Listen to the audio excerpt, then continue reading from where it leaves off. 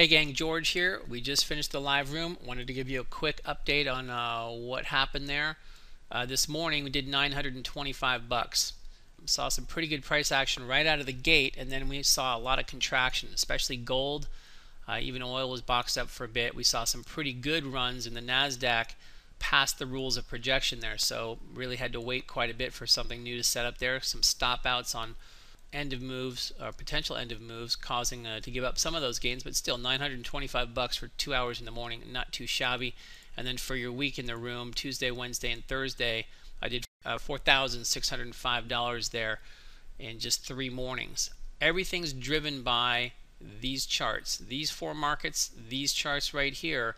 The thing I have you guys focus on every week is the visual signals that we get off the chart, the strength of signal the entry, the stop, the target, the resumption of the trend, all of that can be pulled off of looking at the chart. There's no emotion, there's no fundamentals, nothing else. So whatever I've got here in the trade directory, those are the greatest hits, right? How many times have we seen that? Or that, three bar cluster at a DSR, overbought, sell that guy, right? Ongoing, ongoing. So you got the weekend coming up, we've got training tomorrow. Uh, a lot of time to work to get these signals under your belt before you go live for you new folks. For those of you that are uh, trading live now, congrats, and it's got to be a nice uh, turn of events to be able to see these kinds of gains in such a short period of time.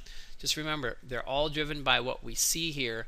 Make sure you don't deviate from that. There, there's always a tendency once you start making some some big money to get a little bit euphoric, and that's when people start to get off of the plan uh, just be aware of that and make sure you, you stop yourself before you go in that direction.